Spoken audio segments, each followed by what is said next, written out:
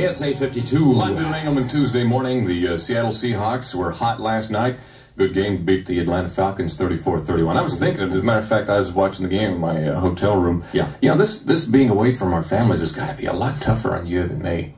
I don't see why you say that. Well, it's just that, you know, we were both married. I mean, sure, we miss our wives and everything, but, you know, I don't have any kids. You, you've got three kids, Ron. Yeah, yeah. I mean, you know, you've been gone three weeks. Have you thought about that much? I mean, you know, really. Well, you know, what's the big deal? Well, Ron, it, it, when you sit sit down and start thinking about it, it is kind of a big deal. I mean, you know, the school year has just started, you know, and the mm-hmm. kids are kind of excited. Then, Ron, they they come running home from school and they.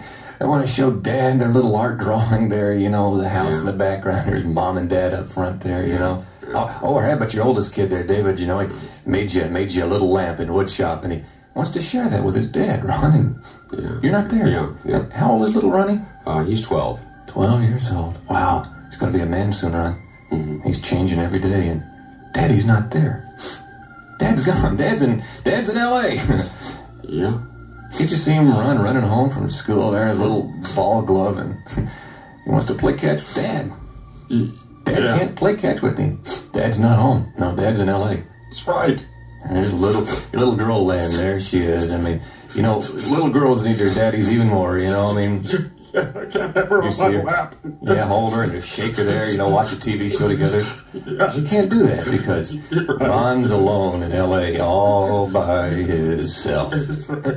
God, I want to go. Oh, pull yourself together, Engelman, for heaven's sakes. You haven't even got a month yet. Come on, jerk. Technology, standard equipment on the Lamborghini. The federated group, the stereo people who know more and charge less. For sure. K-Earth 101. Five oh before nine. Sunny today and Wednesday, a little windy. Yeah. Gusts up to 25 miles per hour below the canyons today. Mm-hmm. Currently downtown. It's 63 degrees. We'll look for a high of 82. I pay the street light because there